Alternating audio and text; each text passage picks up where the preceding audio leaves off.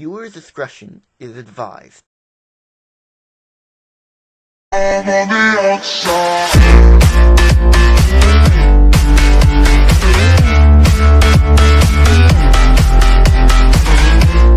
Hello everybody, welcome back. I'm Keith Bob. We're back with the series called Learning About Minecraft.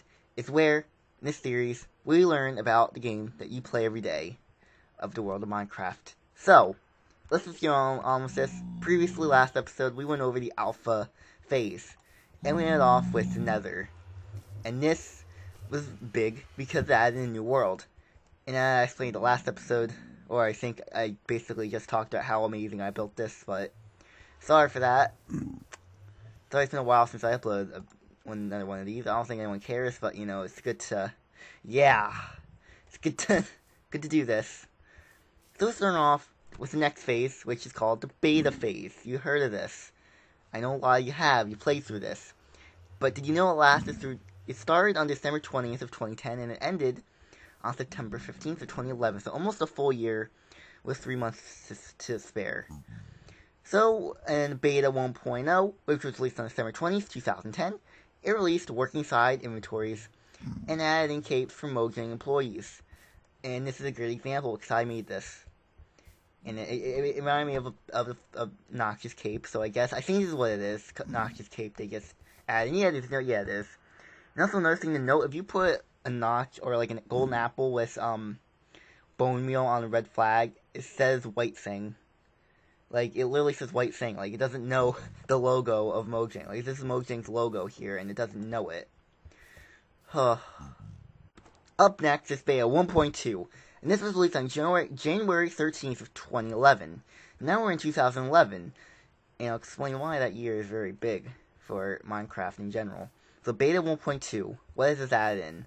charcoal, note block, dyes, all the dyes, not just an ink sac, all the dyes, sugar dispensers, lapis lazuli block, bone meal, and sandstone. And also, there's a new mob, which is called the squid. This guy. This guy's squid.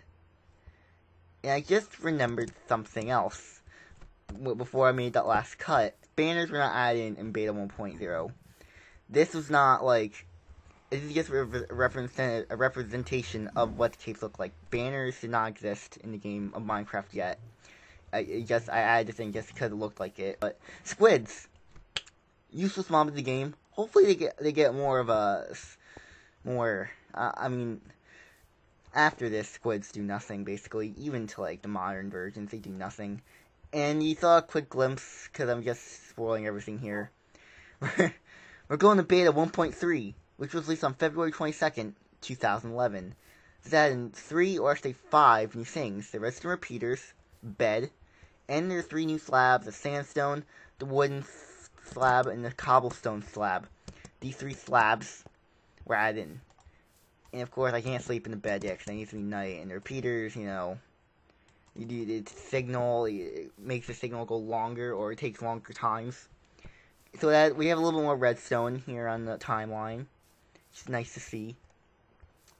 Now let's go into beta 1.4, which was released on March 31st, 2011. And I should say first that each of these updates are like by a month now. Then though this was February, you know, this is that was January, February, March. Each of these go by a month. So that's how we get to September, because each update that they do, each major update, each major update is a month, like almost a month apart. So they have cookies! And we also have a wolf and this wolf, my name is Dick. My wolf, his name is that. Don't judge him. He's, uh, he's a good, good boy. You want to come with me to explore the rest of the timeline? Come on, you'll follow. Come on. Come on, Dick. Go on to beta 1.5, which was released on April 19th of 2011. This added in statistics and achievements, new types of rails, and added birch and spruce saplings Now, the new type of rail that I can only imagine were like I it was one of these it's not that rail, but it's one of these three rails. I may I, I I really like couldn't find which type of rails they were. But they added statistics and achievements, you know, this you know, achievements, statistics. Boom. So we got that Come on, Dick. Come on.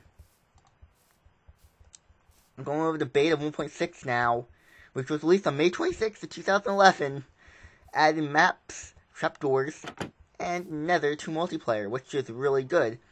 Connect people multiplayer servers, which that's what people like playing. Multiplayer survival servers. Now they can access the Nether. The thing I was added in, the last version of the alpha. Now it's it took some time, took a few months, but it's finally a multiplayer. Because I guess, considering that the portal working, you know, everything that sort of need to be fixed, I can see how Nether and multiplayer can be a bit tricky when they first started out, or how they developed it. But you know, I, I can see that. I can see how it took a few months. So, enough of beta 1.6. Let's go on to 1.7. I'm going rationally fast because uh, I'm trying to make the video quick and all. Not for anything specific reason, just because. there's nothing really much to explain. Oh, you finally come, Dick. Okay, you're sort of. I can't show my camera towards you because it sort of reveal the next version. But beta 1.7, which was released on June 30th of 2011. Oh, there you are, Dick. this added in pistons and shears. Pistons to push blocks, another redstone thing, which I consider, and shears. So now you can shear leaves and sheep, so instead of punching a sheep to get wool, you can now shear a sheep. Or even killing a sheep. You don't have to kill the sheep anymore. You just shear the sheep with the shears. So let's go on to the last version of the beta. So, Dick! How, you, you excited? You excited for this, this last update? It's pretty big. Pretty, you know, sizable update. You ready for this? Ready for this? Ready for Dick? Well, you of already see it come, you're sort of in front of me, but... Beta 1.8, the Adventure Update, Part 1, which was released on, on September 15th of 2011. 2011. This is a big one. Look at this. Look at the size of this.